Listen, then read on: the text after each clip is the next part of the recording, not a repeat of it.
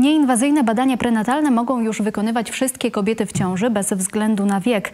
Oferują je cztery podmioty medyczne, które posiadają kontrakt z NFZ-em. To Femina, Centrum Medyczne Mączka w Opolu i w Nysie, Niepubliczny Zakład Opieki Zdrowotnej Kardiologia w Strzelcach Opolskich oraz Kliniczne Centrum Ginekologii, Położnictwa i Neonatologii w Opolu. Od czerwca bieżącego roku Narodowy Fundusz Zdrowia refunduje badania prenatalne dla wszystkich kobiet będących w ciąży. Pierwsze badanie prenatalne wykonujemy między 11 a 14 tygodniem ciąży. Jest to badanie zgodnie e, ze schematem Fetal Medicine Foundation, czyli wykonujemy test PAPPA, pobieramy krew na białko PAPPA i wolną podjednostkę beta-HCG u każdej pacjentki oraz wykonuj- wykonujemy szczegółowe badanie USG.